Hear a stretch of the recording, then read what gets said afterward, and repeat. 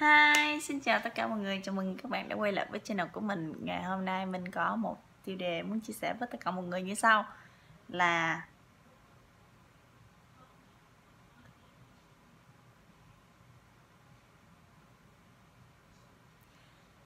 Là tâm tình cô dâu Việt, cuộc đời không ai sống dùm ai cả.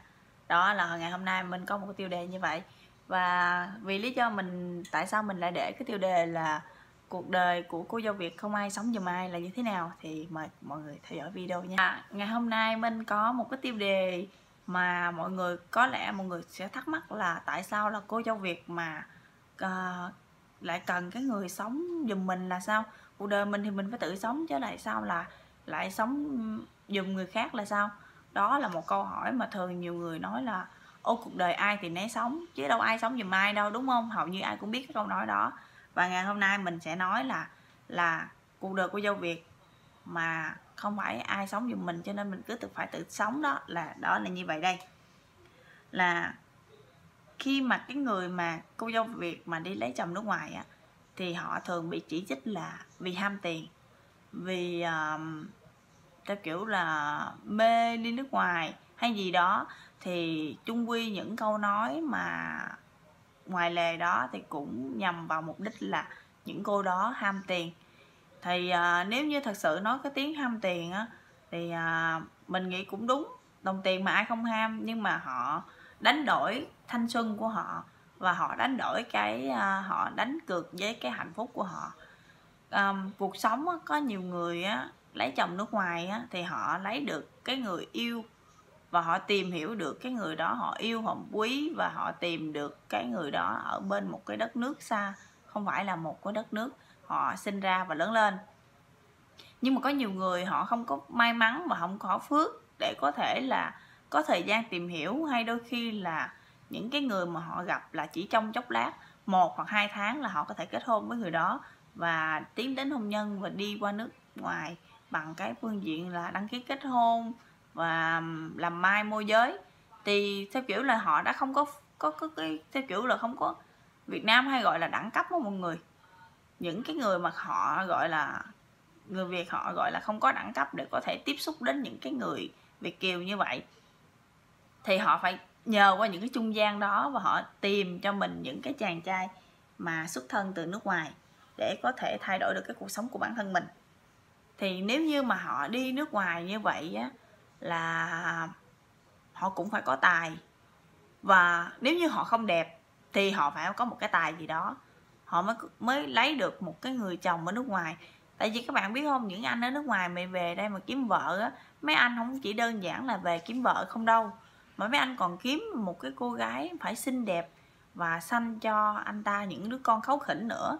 Cho nên nếu như các bạn không đủ giỏi thì mình phải đẹp.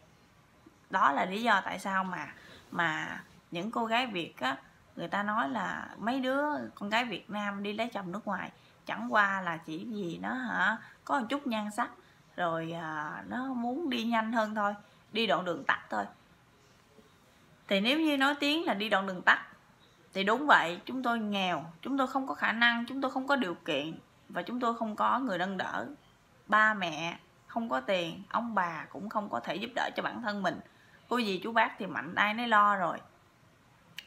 Vậy bây giờ chúng tôi có tài sản gì? Chúng tôi không có không có tiền. Đôi khi là có nhiều người thất học nữa và có nhiều người sẽ ăn học được tới nơi tới chốn, nhưng mà lại sống trong cái cảnh bần cùng, dốt nát, chịu nổi và bao giờ mình mới khá giả được, bao giờ mình mới cải thiện được cái cuộc sống đó. Thì với những cái cô gái mà họ đã quá nghèo cái uh, cuộc sống của họ đôi khi phải lỡ dở cái việc học. Thì cái cái việc mà họ có thể thay đổi cuộc sống của mình là chỉ có thể là cầu mai vào những cái anh chồng nước ngoài có thể rước mình qua nước ngoài được để mình có thể cày bừa và kiếm đồng tiền gửi cho, cho về cho ba mẹ mình. Thì điều đó có gì là sai đâu. Tại vì họ sống trên cái cái sức lao động của họ họ đâu có lừa gạt ai đâu. Chỉ vì là họ tìm một cái con đường khác mà con đường đó là đi lấy chồng nước ngoài, chứ họ đâu có lừa gạt ai đâu. Thay thay vì những người đó họ không có tiền, họ có sắc nhưng mà họ không có tiền, họ sống ở Việt Nam, họ đi làm gái thì các bạn cũng chà đạp họ, đúng không? Nhưng mà họ lấy chồng ở bên mỹ thì mình có hay nói với những cái người mà họ lấy chồng nước ngoài mà bị xỉ sói mình có nói một câu. Và mình có câu nói như vậy là làm điếm một người còn hơn đi làm điếm cả trăm người đúng không mọi người? Theo kiểu là thay vì bây giờ họ chấp nhận họ lấy một cái người họ không quen biết và từ từ bắt đầu họ tìm hiểu họ trao dồi tình cảm thì thay vì họ chung thủy với một người họ có thể là lấy cái người đó là cho là mọi, mọi người chửi họ là điếm đi chăng nữa thì họ cũng chỉ lấy một người ở đó thôi chứ họ không lấy ai nữa hết.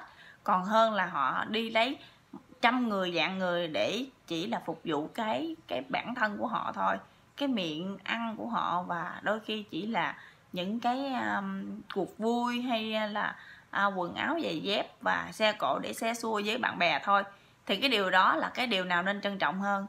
Và khi mà cái những cái người phụ nữ mà họ đi lấy chồng nước ngoài mà họ hy sinh mà họ lấy như vậy mà những người ở bệnh hay gọi là điếm đó thì à, họ hy sinh trên cái cuộc sống của họ, thanh xuân của họ. Họ lo cho ba mẹ họ. Thì có được đáng là, được đáng trân trọng hay không? Vì cuộc sống này không ai sống giùm ai cả. Khi mà họ nghèo khó, họ lại hỏi xin tiền bạn. Bạn có cho họ không? Mình chắc chắn một điều là các bạn sẽ không bao giờ cho. Mà các bạn còn có thể xỉa xói thẳng mặt họ và dùng những cái lời lẽ rất là nặng nề, đôi khi là sỉ nhục cả danh dự họ nữa. Thì cái điều đó là dĩ nhiên trong xã hội rồi. Không ai theo kiểu là làm có đồng tiền để cho người khác lại xin tiền mình cả. Giống như là uh, chị đây chị làm sẵn tiền cho cưng lại xin hay sao?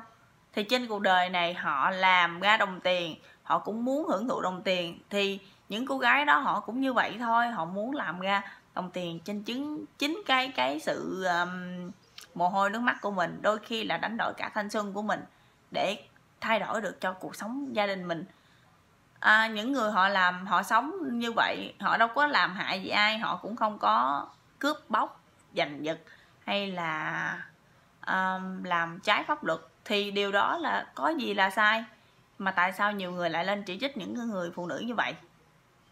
Và lý do vì sao là những người mà chỉ trích những cái người phụ nữ đó không nhìn lại trên cuộc đời này không ai cho không ai cái gì cả chỉ có ba mẹ là sống vì mình mà không bao giờ tính toán một cái điều gì thôi. Thì nếu như họ sống vì ba mẹ họ thì có gì là sai? Và nếu như họ họ sống mà nếu như cho là họ đi ngoài đường họ sống uh, mang tiếng là gái đi chăng nữa thì cũng là trên cái thể xác của họ. Họ không có xin tiền bạn. Họ cũng không có lại cướp bóc gì của bạn nếu như bạn sống trong cái hoàn cảnh mà khó khăn như những cô gái đó thì bạn sẽ hiểu được cảm giác của những cô gái đó. Vì lý do lý do tại sao mà lại đi làm như vậy. Và khi những con người đó đó họ nghèo như vậy á lúc họ đau ốm á, họ họ không có nhờ được cái sự giúp đỡ của ai cả. Đôi khi họ là họ đi làm mướn làm công họ ứng lương. Mà những cái ngày trước đó thì nghèo quá mà ứng lương để kiếm lấy cái đồng tiền để về mua gạo. Thì những ngày mà ba mẹ họ đổ bệnh, họ ứng lương nữa, thì những cái người mà mướn nhân công như vậy thì họ, người ta nghĩ là mày đã ứng quá nhiều rồi. Người ta sẽ không tin mình nữa. Người ta nói là mình mình ứng nhiều như vậy, rồi chừng nữa là mình không có làm cho người ta nữa. Cho nên nó hả, là người ta không cho mình ứng tiếp. Thì những cái cơn cái cơn đau bệnh đó và những cái lúc mà kẹt tiền túng quẫn như vậy thì ai ai sẽ là người cho? Chứ không bao giờ họ cho mình cả, họ chỉ cho được cái sự thương hại, họ cho được những cái lời nói an ủi thôi, chứ họ không bao giờ họ có thể có đồng tiền họ cho cho mình cả. Kể cả, kể kể cả những người mà có cái lòng hảo tâm đi chăng nữa, thì họ cho chỉ có với một mức độ nào đó thôi, có một cái sự giới hạn nào đó thôi, chứ họ không bao giờ có thể là nuôi bạn cái đời. Người ta nói là giúp ngặt chứ ai giúp nghèo. Đầu đau ốm thì họ cho mình mượn tiền thôi, nhưng mà đau ốm dài ngày quá thì đồng tiền đâu ra, thì cái sức lực nó bắt đầu nó sẽ cạn kiệt. Và cái cái nỗi đau mà khi mà mình ngồi mình dòm người thân của mình, dần dần kiệt sức, dần dần đi vào ờ, dần dần đi vào mê man và hôn mê và có thể là mất cả mạng, thì họ sẽ hiểu được cái cảm giác của những người con đau lòng như thế nào và muốn giúp ba mẹ nhưng mà sức cùng lực kiệt lực bất đồng tâm thì lúc đó thì họ mới hiểu được cái cảm giác của mình thôi. Rồi, rồi á, những cô gái đó họ đi lấy chồng họ đi lấy chồng nước ngoài thì bị châm điếm là ham tiền mê của mê cũ. Còn nếu như mà lấy chồng nghèo thì họ lại bị cười chê họ nghèo lại hoàng nghèo cuộc sống nghèo luôn luôn đeo bám kể cả đời cha mẹ và kể cả cái đời của người đó luôn, người con gái đó luôn. Thì cái niềm mơ ước mà thay đổi được cái cuộc sống tốt hơn với những cô gái mà họ có phước phần một chút xíu, họ lấy được một người chồng giàu, thì bắt đầu cái, những cái người mà theo kiểu là ở gần họ hoặc đôi khi quen